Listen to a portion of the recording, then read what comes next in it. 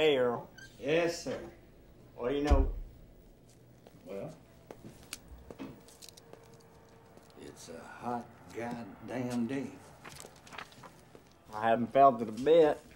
I've been inside with the air conditioner blasting all day long. Oh, is that right? That's right.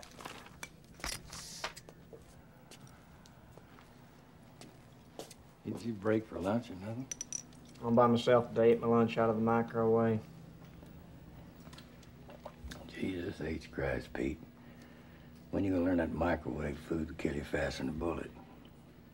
Some of them damn burritos ain't good for nothing but a hippie when he's high on weed. Pull me out a bottle of that Jack, will you?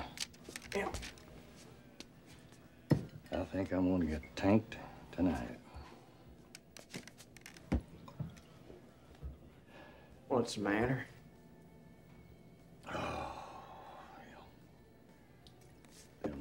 Long, goddamn hot, miserable, shit ass fucking day every inch of the way.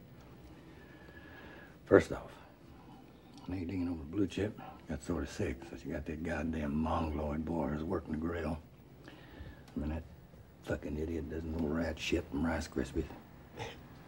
I eat breakfast about nine o'clock, and I'm puking up pigs in a blanket like a sick fucking dog by ten thirty. Isn't there a law or something against retards serving food to the public? Well, they ain't ought to be. I mean, who in the hell knows what's going on in the mind of a goddamn mongoloid? Nadine should have hit that boy in the head and sold the fucking milk. You could sue the shit out of her, you know that. That kid belongs under a circus tent, not flipping burgers. You could own that fucking place. Oh, shit, Pete. What would I do with that grease pit? Sad. Nadine's got to cross the bear. I mean, take care of that potato head.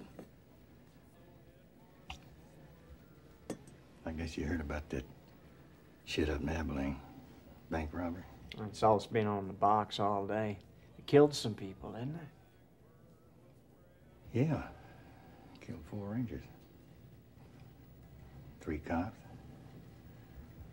One civilian. Took a lady bank teller hostage with him. Supposed to be headed for the border, which would bring him right my way. Get my hands on them crazy, sick fucking bastards. Payback time. I mean, I will get him.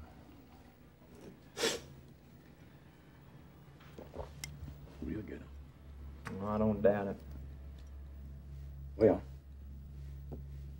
I got a dream, my wizard. If I use your commode? Knock yourself out. Thank you. Welcome.